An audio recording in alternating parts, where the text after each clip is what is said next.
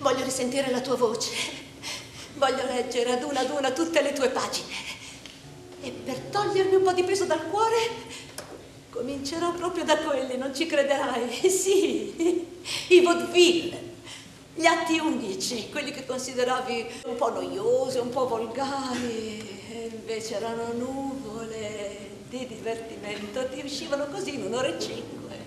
No, non essere gelosa, Olga, mi dicevi. Io ho dovuto aprire la porta, io ho dovuto scrivere per capire me stesso, per capire loro, per capire il mondo. E per dare voce a un sentimento che è mio, quel sentimento di profonda malinconia che ti coglie nel veder passare la vita via. E ti sembra di stare immobile, non far niente, di riuscire ad acchiapparla soltanto per l'orlo della veste quando è già scappata. La scuola di mia moglie la si può trovare nel vicolo dei Cinque Cani. Wow, wow, wow. Al numero 13. Forse è per questo che la mia vita è così piena di disgrazie. Perché abitiamo al numero 13. E tutte le nostre figlie sono nate il giorno 13. E la nostra casa effettivamente ha 13 finestre. Eh, vabbè, eh, che farci. Eh, Comunque, per prendere accordi, mia moglie la si trova in casa in qualunque momento. Invece il programma della scuola... È in vendita dal portiere a 30 copechi la copia. Però se qualcuno desidera posso anche provvedere io. 30 copechi la copia? Nessuno lo vuole? Ivan Vassilievich Lomov, il vicino di casa. Beh, ma com'è elegante per una visita di pomeriggio? Ma guarda, ma che eleganza! In frac, guanti bianchi e tutto il resto. Ma state forse andando da qualcuno, stellina mia? Il fatto è che sono venuto a chiedere la mano di vostra figlia Natalia Stepanova. Ah! Il vostro acchiappo cotai, che vi piaccia o no, è corto di mandibola. Non è vero! È corto di mandibola. Signorina? E voi perché dite delle sciocchezze, Ivan Vassilievich, mi fate venire i nervi? Cos'altro c'è ancora? Papà?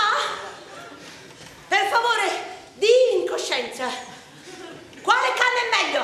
Il nostro acchiappocataio o il suo azzecco gadai? Stepan Stepanovic, vi supplico dite una sola cosa in verità. Il vostro acchiappo cotai è o non è corto di mandibola?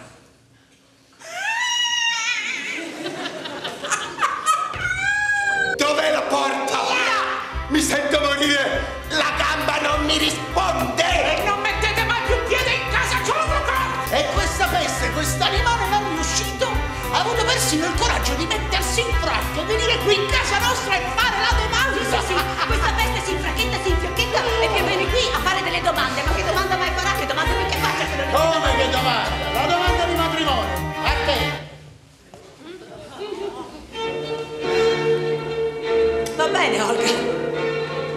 L'orso va benissimo, sai quante volte mi ha salvato quando non avevo più nemmeno un rublo. L'orso va molto bene perché la morte diventa una favola. Verrai a trovarmi? Verrai? E diglielo a Stanislaschi che la smetta con queste prove, voi del teatro d'arte siete ossessionati. Vieni a riposarti qui a Yalta, sarà molto, molto artistico. Eh? Eh, non vieni? Eh, non importa, non voglio essere seccante. Soffri e taci è il mio motto. Io starò qui in compagnia dei miei personaggi. Sei senza cuore, Luca! E che star lì a piangere e portare in lutto tutta la vita proprio non ne vale la pena. Voi avete dimenticato tutti i vicini. Io capirei se non ci fossero persone per bene, ma il distretto è pieno di signori. Il vostro marito buonanima, che io avevo l'onore di conoscere, mi è rimasto debitore di due cambiali per 1200 rubli. Siccome domani devo pagare gli interessi alla banca agricola, vi pregherei, signora, di restituirmi i denari oggi stesso. La pistola, signora, va impugnata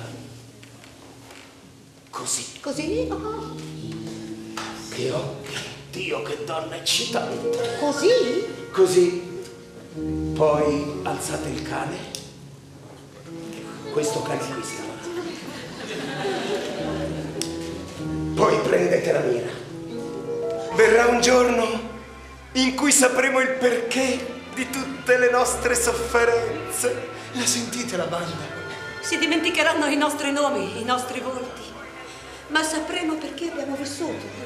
Poterlo sapere, Poterlo sapere. poterlo sapere. I diamanti, un avvenire luminoso.